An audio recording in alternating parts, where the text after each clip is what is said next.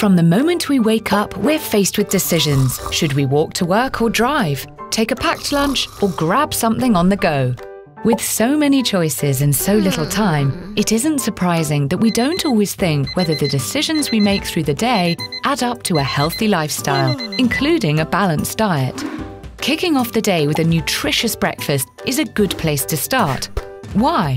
When we wake up, our body has been without food for a number of hours, so we need to eat something to give us the energy to function. From walking and talking through to critical functions such as breathing and pumping blood around our body. Even thinking requires energy, so breakfast and food generally is pretty important. There are other benefits too.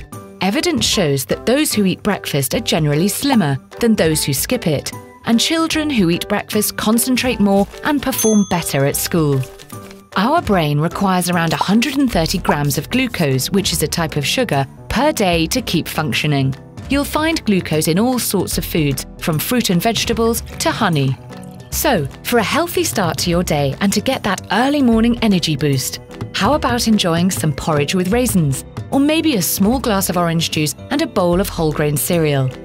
Today, more and more of us are eating on the go than ever before.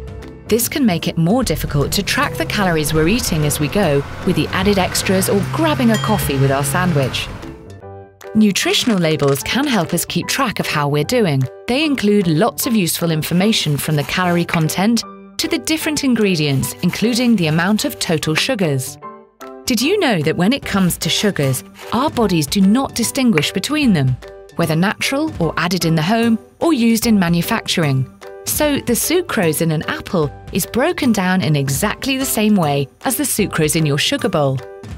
As our energy levels dip through the day, it can be tempting to reach for a mid afternoon snack. Snacks can make up to 20% of our daily calorie intake, so think about how snacks can complement the other foods you've eaten through the day. It's also worth thinking about how your snacks can help you get one of your five a day. A couple of ways to look after yourself include keeping an eye on what you're eating and leading an active lifestyle. The UK government recommends 150 minutes of moderate exercise or 75 minutes of more vigorous exercise for adults each week as you approach dinner, take a moment to think about the food you've eaten through the day. No single food or drink contains all the essential nutrients your body needs. Also, think about the number of calories you've consumed and how active you've been.